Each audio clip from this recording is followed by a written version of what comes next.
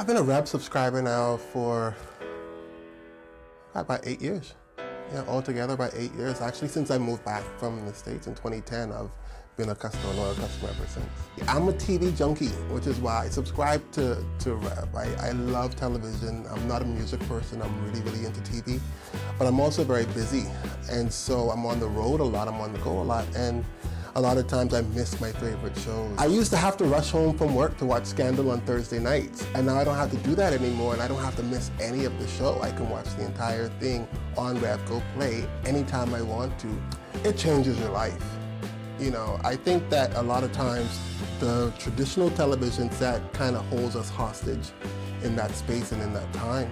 Um, and this gives you more control over how you consume your television, where you consume your television. Um, it, it gives you control over your life. This is how I Rev Go Play.